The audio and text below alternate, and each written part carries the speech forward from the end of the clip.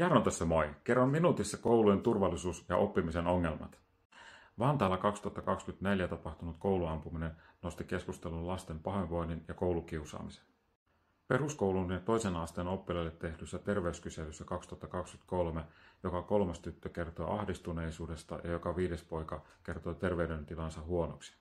Oppilaiden osaamista mittaavassa PISA-tutkimuksessa Suomi on tippunut 2000-luvulla 10 sijaan. Työterveyslaitoksen tutkimushankkeessa 2022 todetaan, että luokanopettajien työtressi on lisääntynyt ja terveydentila huonontunut. Jotta lasten oppimistulokset paranisivat ja henkinen pahoinvointi vähenisi, tulisi varhaiskasvatuksen, peruskoulun ja toisen asteen ryhmäkokoja pienentää. Myös koulupsykologien, terveydenhoitajien, kuraattoreiden ja opojen määrää tulisi lisätä sekä vastuuoppilaiden määrää pienentää. Lisäksi lapsiperheiden tukemista tulisi parantaa. Lasten psyykkisten sairauksien ja väkivallan lisääntyminen on yhteiskunnallinen ongelma, jota koulut eivät pysty yksin ratkaisemaan.